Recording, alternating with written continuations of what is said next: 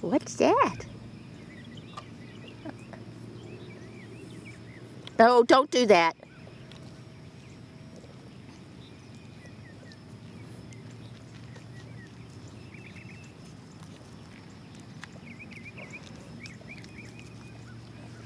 Come on back, Hinkley.